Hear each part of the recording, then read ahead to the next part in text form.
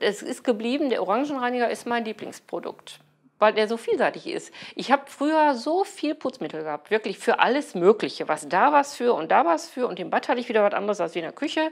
Ich brauche die nicht mehr. Ich habe nur diese Flasche und damit mache ich alles. Bis auf Fenster, dafür habe ich den Glasreiniger. Ne? Und Ofen, da nehme ich ja dieses Intensivgel für. Ne? Aber mit den drei Produkten bin ich eigentlich schon zu 90 Prozent abgedeckt.